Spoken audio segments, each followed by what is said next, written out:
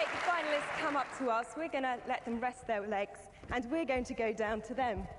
Now, the first award this evening is for Best Specialist Cinematography. Now, that could mean microphotography, underwater camera work, or time lapse photography. In other words, this is all about those techniques that cameramen go to to get the shots that they want. Let's have a look at some clips from the first two finalists. We now know that lakes like Victoria do indeed smoke, and some of the stories of fishermen choking to death may well be true.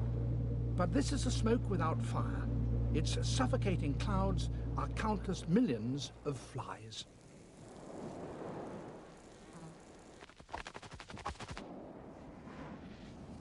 Weighing in at 15 pounds, the terrapin is three times heavier than the defending emperor.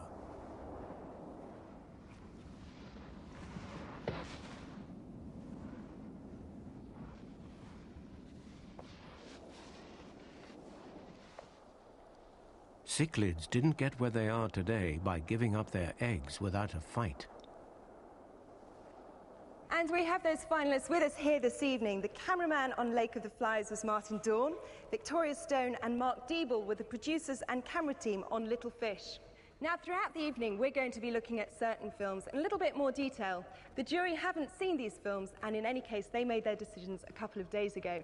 So, for our first portrait film, we're going to look at the third finalist in this category of specialist cinematography, and it is The Private Life of Plants. Neil Nightingale produced this particular episode called Travelling, but the series producer was Mike Salisbury. Making the series was somewhat of a gamble because everybody told us plants are really boring.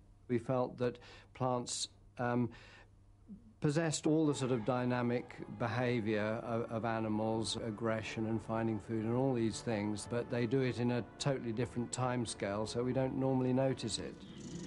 It waves its shoots agitatedly from side to side, as if feeling for the best way forward. The technical challenge for the series was to develop uh, time-lapse photography into a, a new realm. Normally it was rather dull, static frames with plants growing, growing up through them, that sort of thing. What we wanted to do was actually make it much more dynamic, bring whole sequences of time lapse uh, with close up shots, moving shots, and so on. And the equipment just didn't exist to do that. The technical setup for each shot is very complicated. There's a tripod, a camera, a computerized control box, there's flash guns, there's a growing light, there's a switching box, there's a roller blind that comes and blocks out the light. Some might be on a tracking system as well. And it's amazing that all these things keep going. Filming outside is a real problem. There's the wind, there's the rain, animals crawling about. It's much easier to bring everything into the studio and you can control all those variables. One of our most ambitious sequences was the Amazon water lily, and we had to recreate the conditions that this would want to grow in, which meant building a huge tank inside a big bubble wrap humidity chamber, and then we were filming it for about four months. Its gigantic leaves are armoured with spines that protect them against any fish that might try to make a meal of them. We ended up by tracking across the surface of a leaf on a periscope and during that track, we mixed through to a very similar track that we did out in the Amazon, and I think people were convinced that we were there the whole time.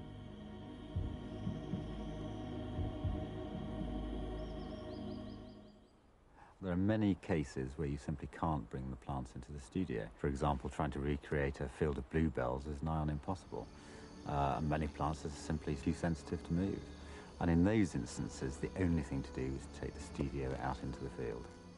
Mount Kenya, for instance, we had 54 porters carrying our equipment for three days to our camp, where we were time-lapsing the way in which uh, the plants there uh, are adapted to coping with extreme changes in temperature. The temperature has now fallen by as much as 30 degrees. One of the problems we had to overcome there, of course, was that the equipment also had to cope with those extreme changes in temperature. I hope this series has uh, changed people's perception of plants. I hope that they'll actually uh, uh, think of them as, as really interesting, dynamic parts of the natural world.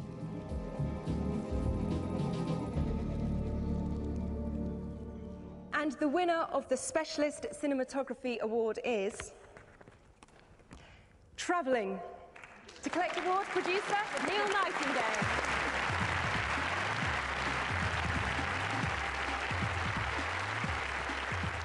After the private life of plants, Neil took over the BBC's premier wildlife series, The Natural World. He's receiving his award here from jury member Jim Frazier, himself a world renowned natural history filmmaker.